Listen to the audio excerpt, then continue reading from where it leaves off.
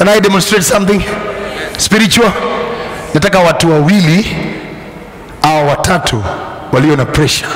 I want to show you I can displace pressure in the name of Jesus.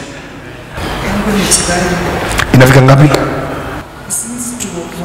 Since 204. Sukari, get out! Toa sukari, get out! Piga nduru kubwa kabisa, kubwa! Toa diabetes, toa iko wapi kwa mgongo? Toa, kabisa, toa yote. Kaa tayari, kaa tayari, shika wenzako wote mikono in the name of Jesus. Residents of 17 years, today is the end. Nimewashika mateka. Unaona barabara? Unaona barabara? Anza kutoka, anza kutoka. One, two, three, go! Come back again in Jesus' mighty name.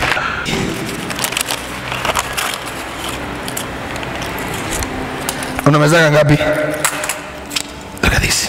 Unabeba ngapi? Unameza ngapi? Gani asubuhi? Kubwa na ndogo asubuhi. Nini kilikuwa kinakusumbua? Ambacho kilikuwa kinanisumbua ni ugonjwa wa sukari For how long? for 17 good years. Umekuwa mgonjwa sukari. Ndiyo, Sasa ulipoombewa nilipoombewa nikapata muujiza wangu mm -hmm. na tangu wakati huo na sasa nimeona mabadiliko makubwa katika nyumba yangu. Juu usiku nilikuwa naamuka kama mara nne tatu, ninaenda kukojoa. Wenye wamekuwa na ugonjwa wa sukari wanaelewa weakness za ugonjwa wa sukari.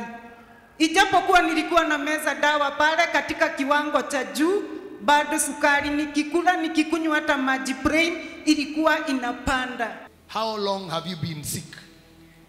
In 17 years, for the last 17 years. You've been sick.